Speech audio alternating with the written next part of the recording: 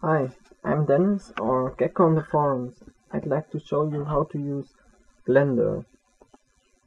The tutorial is separated into about um, 13 parts, whereas we will start with moving the camera.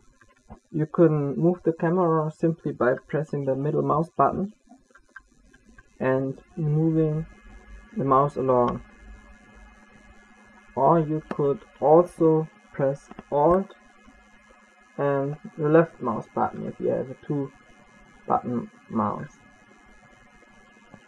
When you hold string and press the middle mouse button, you're able to zoom in or out by moving the cursor up and down. When you press and hold shift and press the middle mouse button, you're able to move the object along. Moving objects. When you've selected an object, you see these three arrows. So when you press and move these arrows, you're able to move the object on the Z, the Y, and uh, the X axis. I will press string and Z to redo the moving. Creating objects. When you press the left mouse button, you can move the target. The target decides where the new object is placed at. So now I hit spacebar go to add mesh now I'll add a plane so now we have a plane which basically is like the cube but uh, it's flat. Now I move the target with the left mouse button hit space and add another mesh a cube. Now we have two cubes. I can move these objects along just the way I want them to be. I could also select an item and press G to move it along with the mouse. The problem here is that um, you can move the object in the room but you aren't bound to an axis. So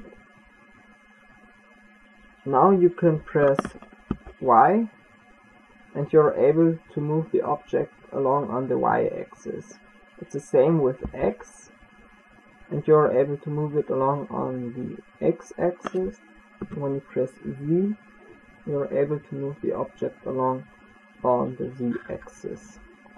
This is all achieved when pressing G to move an object.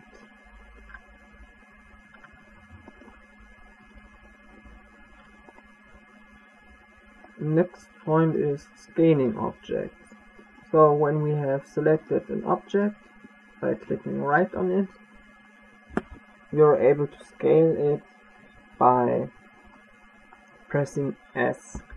S is the scaling button. You can move it along and when you when you press left mouse button it stays the way you want it to be and when you press the right mouse button you can cancel your scaling. just reload this. And second option, uh, option is when you press S, you're able to scale it. And now you're also able to press a number button, like 2, to make it 2 times as big. Or 3, or 5, or 6 as you wish.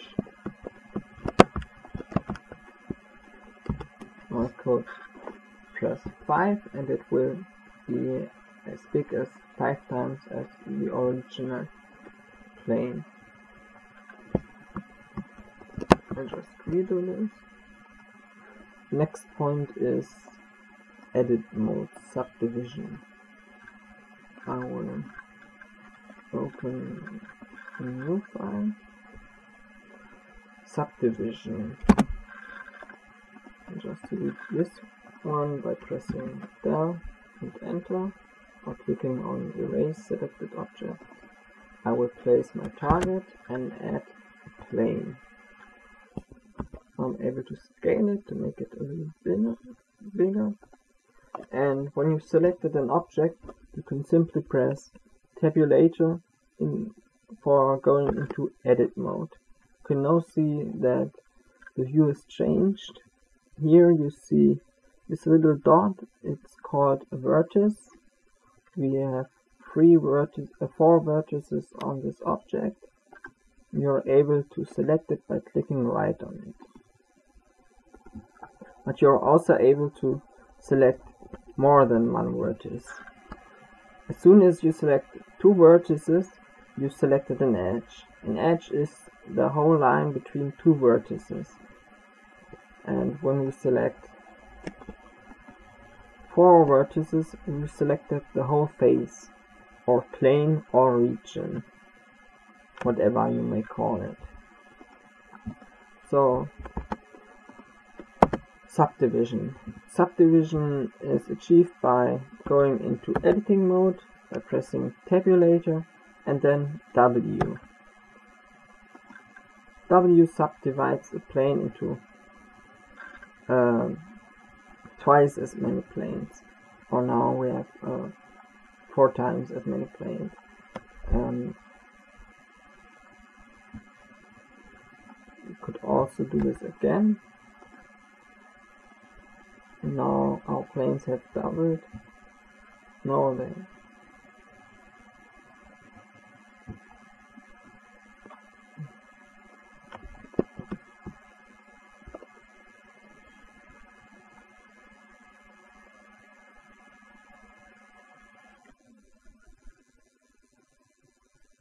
When you press W, you are able to click on subdivide. Now our plane is subdivided. You see that there are more vertices you can select, but we could also press W and subdivide multi, number of cuts free, for example, and uh, it will be subdivided even more.